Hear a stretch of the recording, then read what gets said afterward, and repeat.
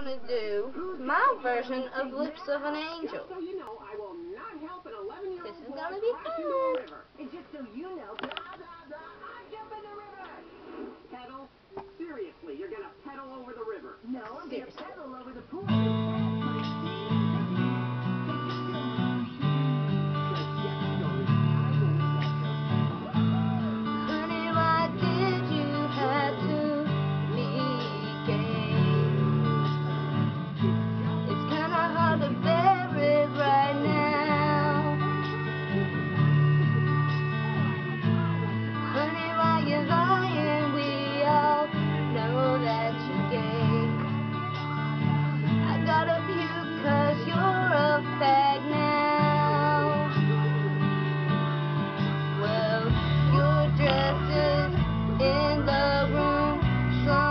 Sometimes I wish it weren't true. I guess we should have seen this coming.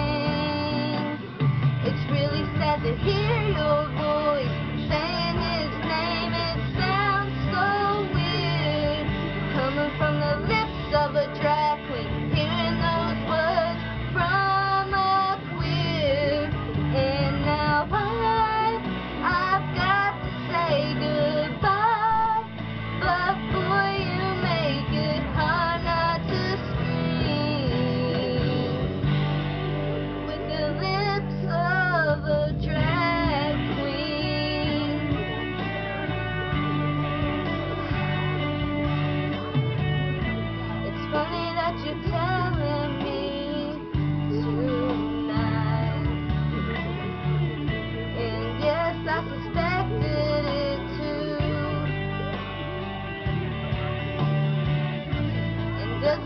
the top